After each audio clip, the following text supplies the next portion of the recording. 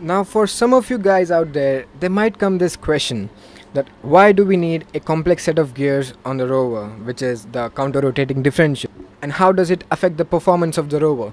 So, to answer the question, let's compare the scenarios. In the first situation, we've got a asymmetric ramp with no differential on the rover to see how it will perform in case there is no differential. Let's check it out. Well, clearly there seems to be some problem. First of all, the deck is wobbling like shit. Then we can notice that the back wheels are at times elevated and it looks nasty. That also means that not all the wheels are in contact with the ground at the same time, which means lesser traction because you don't get to use all of your potential.